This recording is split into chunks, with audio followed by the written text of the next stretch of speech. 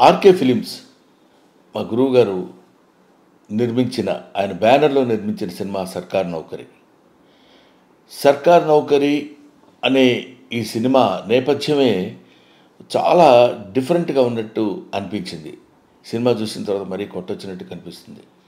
ఎందుకంటే జనరల్గా సర్కార్ నౌకరి అంటే అది పెద్ద గవర్నమెంట్ ఉద్యోగం అనుకునే దానిలో అఫ్కోర్స్ నేను స్టోరీ అంతా చెప్పకూడదేమో కానీ అటువంటి సర్కార్ నౌకరి అంటే ప్రజలకు సేవ చేసేటువంటి ఉద్యోగం అనే మెసేజ్ తోటి చాలా అందంగా ఒక వినూత్నమైన రీతిలో మనకి దర్శకత్వం వహించి చెప్పాడు మిస్టర్ శేఖర్.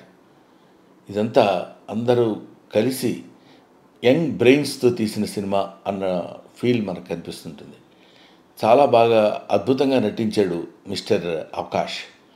ఆకాష్ గురించి చెప్పాలంటే వాళ్ళ అమ్మగారి గురించి చెప్పినంత గొప్పగా అనిపించింది. ఎందుకంటే కుర్రాడు కూడా కొంచెం ఏదో హిందీ యాక్టర్ టైప్లో కనిపించాడు. ఆ? తర్వాత వాళ్ళ మదర్కి ఎంత పేరు వచ్చిందో అంతకంటే మంచి మించిన పేరు రావాలని ఆకాష్కి ఆ భవిష్యత్తు ఉండాలని భగవంతుని ప్రార్థిస్తున్నాను. అతను హీరోగా మంచి స్టఫ్ మెటీరియల్ ఉన్న మనిషి అని ఫీలింగ్ నాకు. ఈ సినిమా చూసిన తర్వాత అనిపించింది. ఓ ఎచ్చటి గాలుల ఎక్కాలే మిక్కిత చదివేస్తుంటే ఆనంది సుక్క సమట సుక్కలా ఆ తర్వాత భావన. అమ్మాయి చాలా ప్లెజెంట్గా అంటే బహుశా నేను విడిగా చూసినప్పుడు ఇంకా ప్లెజెంట్గా ఉంది.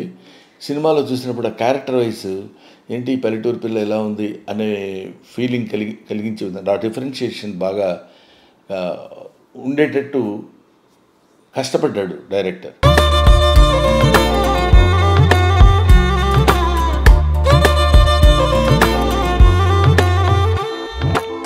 So these main pillars of this film is Raghavendra Rao గారు శేఖర్ ఆకాష్ అండ్ భావన వీళ్ళతోటి సరే సపోర్టింగ్ ఆర్టిస్టులు చాలామంది ఉండొచ్చు.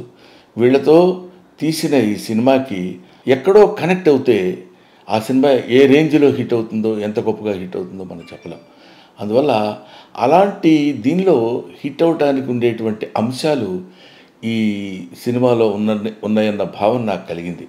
సో దానిలో అతి న్యాచురల్గా సహజంగా అతి సహజంగా అందరూ నటించారు. ఇందులో అద్భుతమైనటువంటి నటన ప్రదర్శించడం కాకుండా సహజంగా నటించినటువంటి సన్నివేశాలు ఇందులో ఉన్నాయి.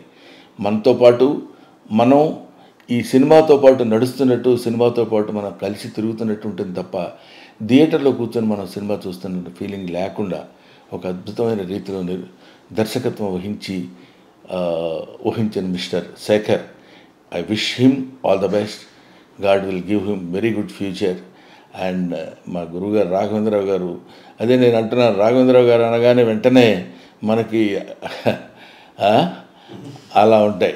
కానీ అవన్నీ లేకుండా రాఘవేంద్రరావు గారి స్టైల్కి భిన్నంగా మరి కుర్రాడు ఎలా ఒప్పించగలిగాడో నాకు తెలియదు కానండి. రాఘవేంద్రరావు గారు అంటే మనకి గుర్తొచ్చే విధమైనది ఈ మధ్య కుర్రకారికి తెలిస్తే తెలిసిండొచ్చు కానండి.